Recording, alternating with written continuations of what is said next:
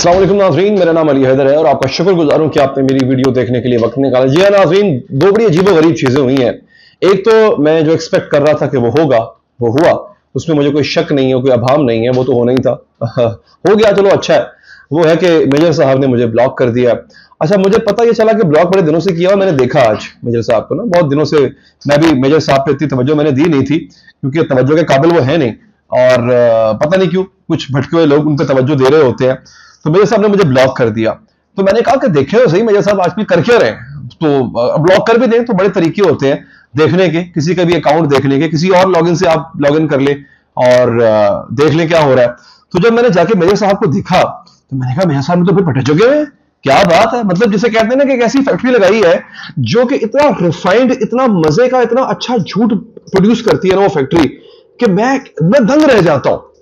मतलब बड़े बड़ी जो फैक्ट्रियाँ हैं जो कि फेक चीज़ें, आपको पता है हर चीज़ का एक फेक माल होता है। आपने कोई ब्रांडेड चीज़ पहनी हो ना, उसकी फेक भी बनती है और वो फैक्ट्री में बनती है बाकायदा। वो फेक माल निकालते हैं, वो ए प्लस कॉपी होती है, फिर बी कॉपी होती है, फिर सी कॉपी होती है। तो माशाला से जो है, वो मेजर साहब जो है, वो ऐसी ए प्लस कॉपी निकालने के माहिर हो गए हैं झूठ की, कि लोग उन पर यकीन करने लग गए हैं। लेकिन कॉपी तो कॉपी होती है ना। कॉपी पकड़ी जाती है। तो कॉपियाँ जो है, इनकी आज हम पकड़ेंगे। तो मेरे साहब ने मुझे ब्लॉक कर दिया है। मर्ज़ी है जी, उनकी क्या कर सकते हैं? इसके साथ साथ इमरान खान साहब ने एक बड़ी अजीबो गरीब बात की है, मेरी समझ से बाहर है। मैं बड़ा, मैंने बड़ा इमरान खान साहब की कॉज का साथ बड़ा दिया मैंने। लेकिन खान साहब जो है वो फिर अमेरिका के दर पे पहुँच गए जाके। ये मुझे समझ नहीं आया ये क्या हुआ है। आपको पता पूरी दुनिया अमेरिका से दूर हो रही है। इवन पाकिस्तान तक अमेरिका से दूर हो गया है। उसकी मैं आपको मिसाल दूँगा एक। पाकिस्तान अमेरिका से दूर हो गया है। दुनिया, सऊदी अरब, पाकिस्तान का इतना अच्छा दोस्त अमेरिका से दूर हो गया सऊदी अरब ईरान की दोस्ती हो गई है। इंडिया अमेरिका से दूर हो गया इंडिया ने कहा है कि हम डॉलर में अब ट्रेड नहीं करेंगे। हम अपनी करेंसी में ट्रेड करेंगे। इंडिया की करेंसी 18 ममालिक में एक्सेप्टेबल है। कबूल, काबिल कबूल है। दुनिया दूर हो रही है। खान साहब अमेरिका के दर पे बैठे हैं। उस अमेरिका के दर पे दोबारा जाके बैठ रहे हैं खान साहब। कि जिसके बारे में उन्होंने कहा था कि हमें, हम कोई गुलाम है? एब्सोल्युटली नॉट गुलामी ना मंजूर मैं खान साहब ने किया क्या? मैं आपको वो बताता हूँ। उससे पहले मेरा सोल्जर स्पीक्स अच्छा इनका नाम वैसे बड़ा मज़े क्या है? सोल्जर स्पीक सोल्जर बोलता है। सोल्जर सिर्फ़ बोलता है, सुनता किसी दिन नहीं। जी, बिल्कुल सही क्या लिखा है उन्होंने सोल्जर बोलता है। ए सोल्जर जो है ना एरा सोल्जर वो सोल्जर सुनता भी नहीं। बाकी सोल्जर सुनते भी नहीं। अरे, सुनता भी नहीं। क्यों? ये ब्लॉक कर देते। आप तनकीद करें, आप उनको बताएँ कि जनाब, ऐसे नहीं, ऐसे आपको ब्लॉक कर देंगे। Soldier only speaks this soldier he never listens अच्छा अब इन्होंने किया क्या जनाब? मैं आपको बताता हूँ। इनके बाकी कारनामे माशाल्लाह से हुआ क्या नाजी अच्छा जनाबे वाला, ये आगे मेरे पास ही। इनकी जो माशाल्लाह से जो इन्होंने कारनामे किए हुए यहाँ पे। अच्छा इन्होंने क्या है? मलिक रियाज और आसिफ जरदारी, गंदा है पर धंधा है। गंदा है पर धंधा है। डीसी फरीद मुस्तफ़ा कैसे अरबपति बना जरदारी, मलिक रियाज का धंधा। इमरान खान के खिलाफ धांधली की साजिश डीएचए बैरिया टाउन की मिली भगत। अब ये इन्होंने, मैंने इनका वीलॉग अभी तक सुना नहीं है, लेकिन इनके थंबनेल के पोस्टमार्टम कर रहे हैं थंबनेल का पोस्टमार्टम कर रहे हैं। यार इन्होंने कमाल नहीं कर दिया हो गया होगा? इन्होंने कहा होगा स्टैब्लिश किया होगा आसिफ जरदारी और मलिक इजाज ऐसे हैं। हैं? मुझसे मुकरा जा नहीं सकता। बिल्कुल है, मान लिया है। अब जरा आप आ जाए, इन साहब ने तब वीलॉग क्यों नहीं किया? जब इमरान खान साहब ने मलिक रियाज को उसकी जुर्माने की 50 अरब रुपए की रकम माफ़ कर दी थी। तब सोल्जर स्पीक क्यों नहीं कर रहा था? आपको पता है ना उस पूरे स्कैंडल का? इस स्कैंडल से अभी तक इनकार किसी ने नहीं किया? आप लोग मसला ही आप लोग गुस्सा कर जाते हैं फिर। बताता हूँ कैसे बोला क्यों? इमरान खान का दौरे हुकूमत। इमरान खान के दौरे हुकूमत में मलिक रियाज को बरतानिया की अदालत में 19 करोड़ पाउंड का जुर्माना होता है। इन्होंने वहाँ पर पंगा पुंगा किया था ठीक ठाक पंगा किया था, उसकी डिटेल में जाने की फ़िलहाल ज़रूरत नहीं है, वक्त बहुत लग जाएगा। वो जुर्माना मलिक रियाज को अदा करना पड़ता है। पाकिस्तान थोड़ी है कि जुर्माना हो तो और आप जो है वो जुर्माना खा जाओ। नहीं, अदा करना पड़ता है। उस जुर्माने में से एक किस्त जो है पचास अरब रुपए की बरतानिया की हुकूमत पाकिस्तान को भेज देती है कि जनाब, ये आपका पैसा था, आपकी कौम का पैसा है। अब आपने सुनते जाना है ये बात।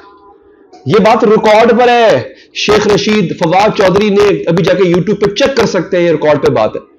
उन्होंने भेज दी पाकिस्तान। इमरान खान साहब की गवर्नमेंट है। गवर्नमेंट के खजाने में आई। इमरान खान साहब ने क्या किया कि ये पचास अरब रुपया मलिक रियाज के एक और जुर्माने की मद में कंपनसेट कर दिया। कैसे? यहाँ पर भी सुप्रीम कोर्ट ने मलिक रियाज को 300 अरब रुपए का जुर्माना किया था जो कि मलिक रियाज ने जेब पे देना था। एक जुर्माना बरतानिया में, एक जुर्माना पाकिस्तान में। इमरान खान ने क्या किया? इमरान खान ने यह 50 अरब रुपए की रकम जो पाकिस्तान में मलिक रियाज को जुर्माना हुआ था, उसकी किस्त अदा करवा दी। भाई, ये आप कैसे कर सकते हो? ये आपके पैसे नहीं है। ये कौम के पैसे थे।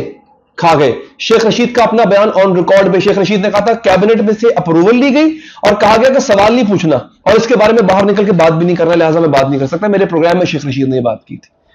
तब सोल्जर नहीं स्पीक हुआ। तब सोल्जर चुप रहा। ये झूठ इस आदमी का आप देखें।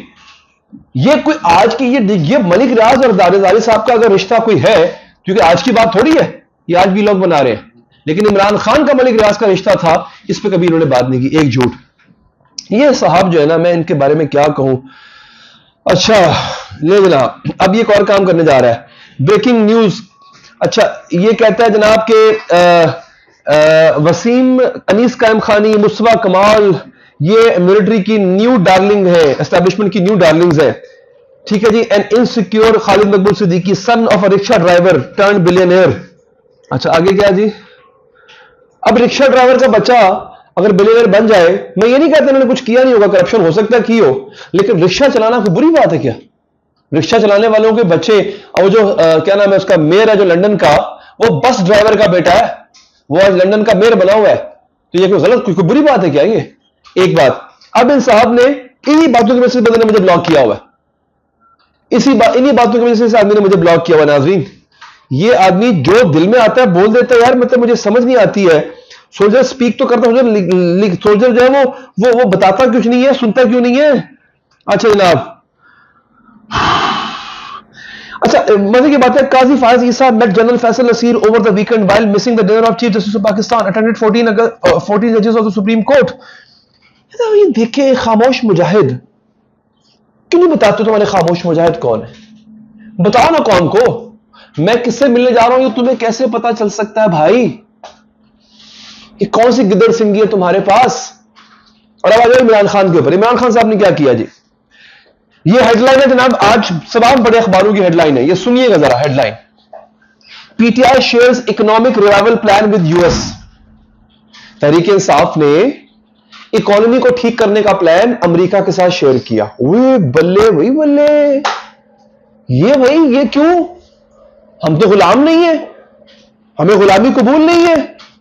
अभी जब जब रैली निकलती है तो आज़ादी के नारे लग रहे होते हैं। अमेरिका से आज़ादी चाहिए थी ना? तो अमेरिका से अपने प्लान्स क्यों शेयर कर रहे हो? क्या कर रहे हो? ये सुनिए जरा आगे मैं डिटेल पढ़ के बताता हूँ आपको। Two weeks ago, दो हफ्ते पहले PTI officials sat down with the US embassy officials to share the country's the, the, the contours of its economic revival plan as well as to ensure that PTI would continue working with multilaterals like World Bank, International Monetary Fund, Asian Development Bank, etc. and abide by the commitments made by the state with global lenders and states.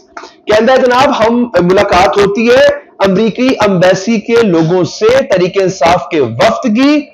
Imran Khan ने definitely कहा होगा तो किया ना। अच्छा और उनको ये एश्योरेंस दिलवाई गई, उनको ये एश्योरेंस दी गई किस बात की? कि जनाब, हम वर्ल्ड बैंक से, हम आईएमएफ से और एडीबी एशियन डेवलपमेंट बैंक से इन तमाम के साथ काम करते रहेंगे, यानी इनके थले लग के रहेंगे। और जो रियासत के इनके साथ मुहिदे हुए हैं उन पर मिनो अन अमल होगा, उनकी हुक्म बजा जो है वो हम लाएँगे। ए लो, ए पे आ जाए थोड़ी आज़ादी। हूँ सुकून है हूँ आराम है मेजरादल राजा हूँ आराम है। और खुदा का खौफ करो यार आवाम को झूठ बोलना छोड़ दो। सच बात करो। मैं एक बात बताऊँ आपको, इमरान खान गलत गलत नहीं यहाँ पे। ये मजबूरी है हमारी। करना पड़ना था। ये जो गवर्नमेंट अभी है, ये भी ये कर रही है। इमरान खान भी ये करेंगे। लेकिन फिर देखें ये कि पूरी दुनिया अगर वो ब्लॉक छोड़ रही है अमेरिका का और आप पकड़ रहे हो, ऐसे ही है ना? सऊदी अरब ने छोड़ दिया। ईरान तो पहले मुखालिफ था। इंडिया छोड़ चुका है अमेरिका को। आप क्यों पकड़ रहे हो जाके दोबारा अमेरिका के पाओ और अमेरिका ने तो साजिश की थी सर आपके खिलाफ। फिर आप ऐसा क्यों कर रहे हो? वक्त मिले ना एक दफ़ा, अकेले बैठ के सोचिएगा ज़रूर कि कैसे उल्लू बनाया जा रहा है आप सबको। टका बनाया जा रहा है। हमें बनने का शौक जो है, अपना ख्याल रखिए अल्लाह के बाद।